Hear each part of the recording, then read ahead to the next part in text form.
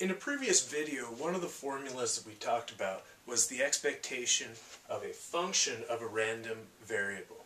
And this is the formula for a continuous random variable. All we did was we plugged that function of the random variable in, we multiplied it by the PDF, and we integrated it over all possible realizations for the random variable. Now, in this video, I want to introduce the idea of covariance. To understand what covariance is, we need to understand how to, how to compute the expectation of a function of a random vector. So we need to generalize this formula to allow more inputs into the function.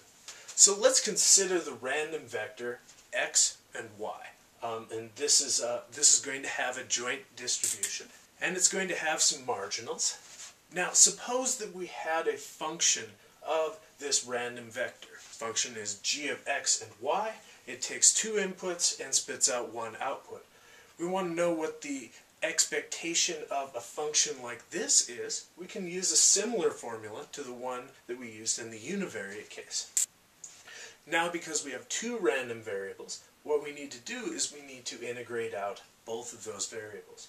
Um, so all we do is we replace g of x and y for g of x, and we replace the joint distribution of x and y uh, for the marginal distribution of x. So if we want to compute the expectation of a function of a random vector, this is the formula.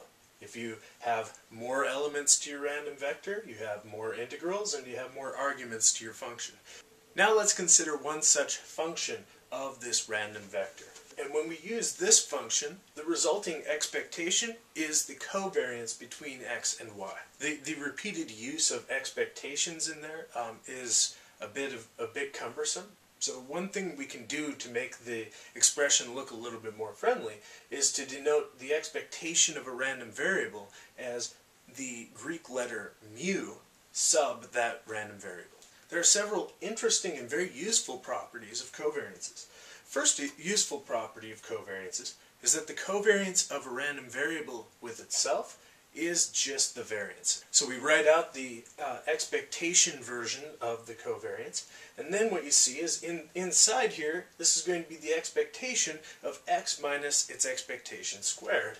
And that's exactly what we had for our formula for the variance of a random variable. A second useful property is that covariance of x with y is the same as the covariance of y with x. This one doesn't take much to verify except for just to look at the formula here and the fact that we can switch the order of multiplication uh, within this expectation basically completes the proof of that property.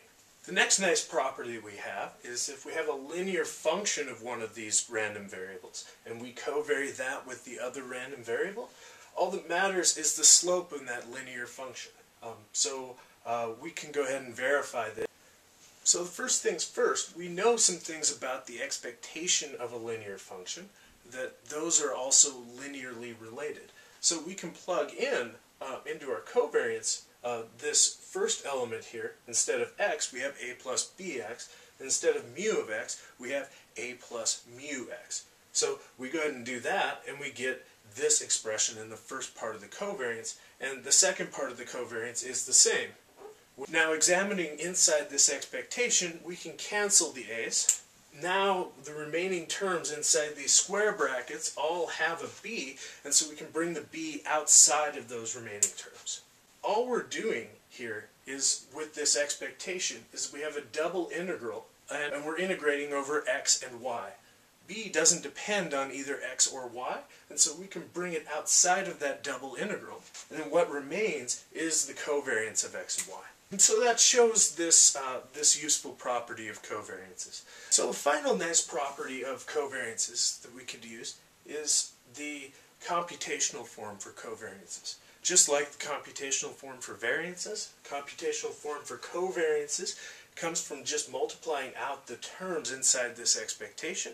So we're going to go ahead and use FOIL, first, outer, inner, and last. Now this is just a function of x and y. These mu's you can think of as constants.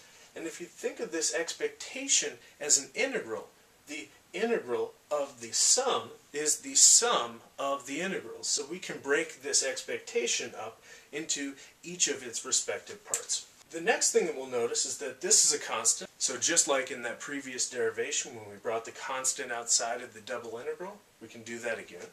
And this is a constant, so we can bring this mu x out of this double integral. Now let's go ahead and rewrite this on the next line. So now we have a mu x here, and we have a mu y here. This term is a minus mu x times mu y. This term is a minus mu x times mu y. And this is a plus mu x times mu y. One of these cancels with the positive here, and we're left with one negative mu x times mu y. And so there we have a computational form for covariance. You can compute the, co the expectation of x times y. That's just a function of the random vector. Uh, it's going to be simpler to compute than uh, something where you have some subtraction in there for most practical purposes. And then you just subtract off the means times each other.